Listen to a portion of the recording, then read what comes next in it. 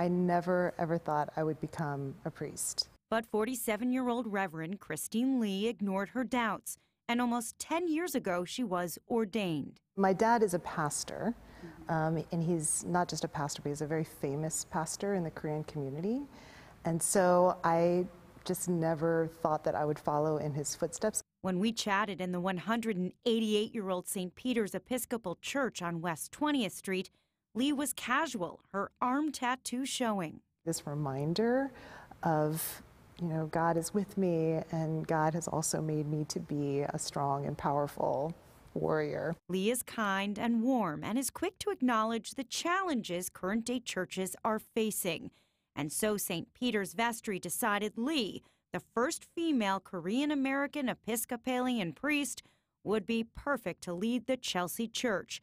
She begins October 1st. What uh, swayed me was her openness, um, you know, just, just her, her, her candor. Declining membership is not a unique problem. It's happening at churches across New York. Leadership here at St. Peter's would look out at Sunday services and see only 20 to 25 people. I've always been really captured by this idea of um, renewal and restoration. And that stays with her wherever she is. Lee is training for the upcoming New York City Marathon, and as she loops around Manhattan, she prays.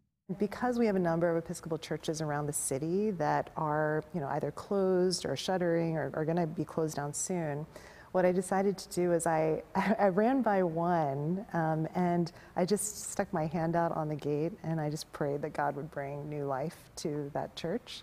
Parishioners of St. Peter's hope Lee's energy and enthusiasm will prevent this Chelsea congregation from becoming a footnote in the neighborhood's history.